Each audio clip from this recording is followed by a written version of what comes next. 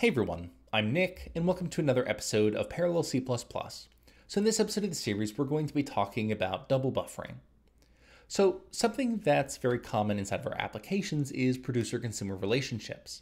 So for example, inside of some loop, we might have a call to a function that fills some buffer with data, and then uh, a call to another function after it that drains that buffer of its data or processes that data. Now this can lead to a bit of a performance or parallelism problem here because we might not be able to overlap these two operations, right, for the same iteration of a loop, right? Um, we might not be able to uh, generate and process data at the same time. However, we might be able to extract some parallelism across iterations of this loop. And for that, we can use an optimization called double buffering. So double buffering is essentially just a form of pipelining so that we can overlap operations. And the operations that we're talking about are typically um, buffer fill and buffer drain operations. So generating data and then using or processing data. So in our baseline case, we might have, say, a single buffer. And with that single buffer, you know, one function call might fill it with some data and another function call might use or, or, process that data, right? And we might not be able to fill and drain this buffer at the same time. Now with double buffering, we essentially double the amount of memory we're using here. So we double the amount of buffers that we have. That way, while one thread is say processing data for the uh, for the current iteration of the loop, another thread can say start generating data for the next iteration of the loop. So you can we're really just overlapping different operations here. So we're overlapping the processing of the current iteration of the loop with the data generation for the next iteration of the loop. That way, when we finish processing our data, right, we don't have to wait around for new data. We can just swap the buffers, right? And the same thing goes with our data generation. Our data generation doesn't need to wait for a processing thread to finish before it just starts generating new data for the next iteration of the loop. So we're going to look at a simple example of how we can implement this double buffering today. And we're going to start by looking at our baseline example here. So our code is pretty simple, right? We have our producer-consumer relationship between these two functions, one called generate data and another called process data. So generate data does exactly what it says. It just generates some integer data, right? So here we just create a random number generator using this Mersenne twister. Um, and then we just fill this std span here, which will end up being a, a vector underneath the hood um, with um, just these random integer values, right? From this uniform int distribution. So random integers between 1 and 100. Now on the other side of things, we have this process data function. So this is our consumer here. So it's going to take a, a span of integers here that we just generated, and it's just going to do some you know, dummy work and, and process these integers. So in this case, all it's really doing is a bunch of modulos, so division operations essentially, and additions as well, right? So just some dummy work. It really doesn't matter what this is, right? But both of these should take around the same time, right? I've, I've, I've profiled them and uh, roughly timed them out to be roughly equivalent. Now, down inside of our main function, things are pretty simple. We have a single buffer, right? That's going to be this vector here called data that we're going to size to 2 to the 20 elements. Then inside of 100 iterations of this for loop here, we're just going to call generate data, right? And, you know, fill this vector with some random numbers and then process data, right? So just use that, um, those random numbers that we generated inside of this dummy work here with these modulos and these additions. Okay, so that's going to be our baseline here. Let's go ahead and look at our double buffering uh, implementation here. So our generate data and process data functions are exactly the same, right?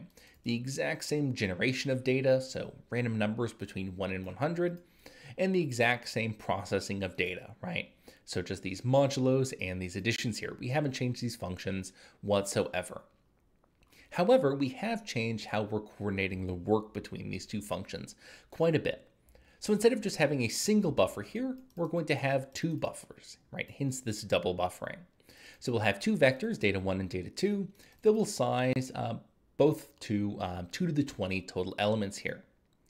So to coordinate our work, right, so we're going to spawn multiple threads here, one thread for generating data and one thread for processing data what we're going to do is we're going to coordinate our work using these binary semaphores to send signals between these two threads.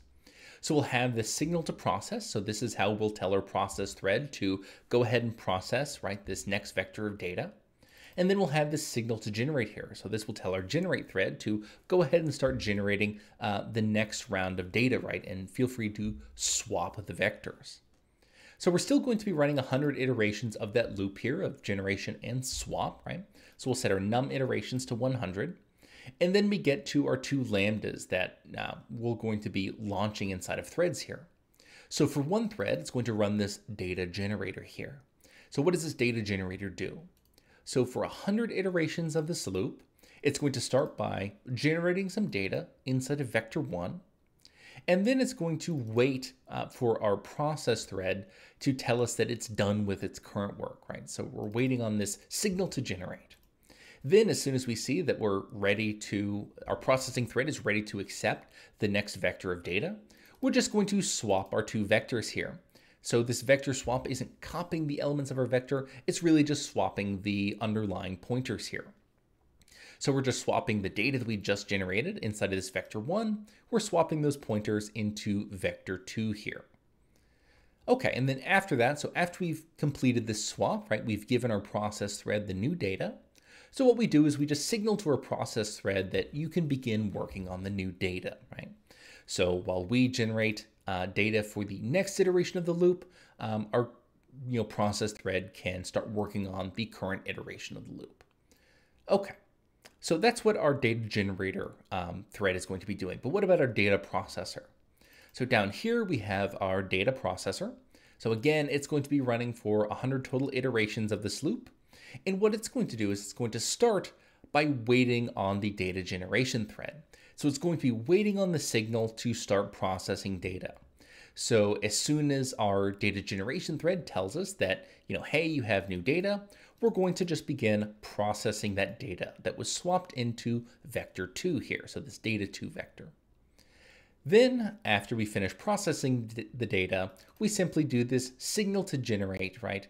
So we send a signal, you know, over to our generation thread saying, hey, we're done processing data. We're ready to accept um, the next vector of data here. So feel free to do that swap, right? And start be and start data generation for the next iteration of the loop. So that's roughly what's going on between these two threads here. So that's how we're implementing this double buffering. So while our data generator is generating data for the next iteration of the loop, our data processor is processing data for the current iteration of the loop. And it's doing that with these two different buffers here that we end up swapping right inside of our data generator thread. Okay, so that's what we're doing here. Um, the only thing left inside of our code is just this simple, um, you know, spawning of our threads here. So we spawn two jthreads, one for a generator and one for a processor, and then we'll just wait for them to join, right, inside of the destructors for this thread, uh, or these two threads rather. Okay, so let's go ahead and compare the performance of these two things, right? Our baseline case where we just serially, with a single buffer, um, generate data and then process that data. And then with this double buffering case, right, where we spawn two threads, one of which is going to, you know, generate data for the next iteration of the loop, while a process thread processes the data for the current iteration of the loop. So we can go ahead and compile this. So we'll compile first um, baseline.cpp, and we'll do this with O3 optimizations and linking against, um, or rather, um, setting the standard to C++20, since we're using things like std span. So we'll go ahead and compile this. And then we'll compile double buffer.cpp as well. So with the same O3 optimizations and standard set to C++, C++20, but we'll also link against libpthread since we're spawning those jthreads. Okay, so those are two examples here. Let's go ahead and start by timing them, right? So we can go ahead and time our baseline to see roughly how long it takes to do all this work serially. So all 100 iterations of that um, producing, consuming loop. And we see that, you know, with a couple iterations, it's somewhere on the order of 1.62 or 1.63 total seconds, right? To generate all that data and then process all that data 100 times. Okay, so let's go ahead and see, you know, how the performance of our double buffering implementation uh, compares here. So we're overlapping operations from different iterations of the loop. So while we're filling, you know, a buffer with data for the next iteration of the loop, our processing thread is using the data or draining the, a buffer for the current iteration. So we'll go ahead and time this double buffer example. And we see that it's a whole heck of a lot faster here, right? Not quite 2x as fast for these two threads, right? So there might not, it might not be completely balanced, right, between our processing and our data generation. So one of these threads might be waiting around for a bit, um, and another thread might have a little bit more work. But we see a fairly big improvement in performance here. So we go from, you know, around 1.6 seconds down to around, you know, 0.9 seconds, right? So about 0.7 seconds um, faster here by overlapping operations from different iterations of this loop, right? By using these two buffers that we fill and drain, right? Okay, so that's going to go ahead and do it for this time with a simple example of double buffering. Um, if you go ahead and look up double buffering online, you'll see a lot of examples as it relates to things like graphics. But this is a way that we can harness some extra parallelism here by essentially making a pipeline inside of our code where we overlap operations, say, from different iterations of a loop. Now, as always, you can find this or any of my other examples at github.com slash coffeebeforearch. But that's going to go ahead and do it for today. As always, I'm Nick, and I hope you have a nice day.